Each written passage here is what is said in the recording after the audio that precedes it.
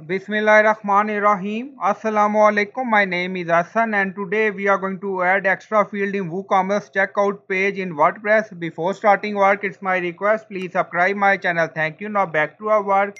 So we are going to install plugin. So go to dashboard. Scroll down on left side you see plugin. So click on add new. Then in search plugin write checkout field manager.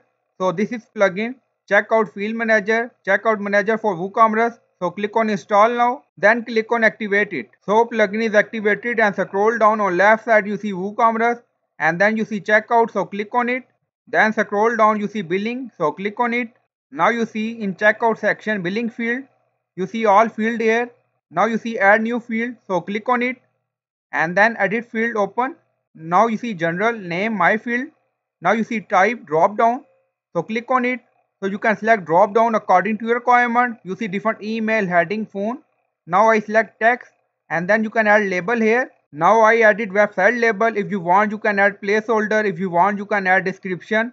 And then you see default text. If you want you can add it. Then you can set maximum length also. And if you want you can add extra class. If you want to do some styling with field then you can do with class and then you see filter so click on it now you see different setting here, show for role, hide for role and show for product. So you can do setting according to your requirement. Also you see display, price, admin. So this is our premium feature. Now click on save. Now field is added, scroll down. Now you see website field. If you want you can make it required. So click it and if you want you can edit again and if you want you can delete and then click on save changes. Now go to checkout page and refresh the page.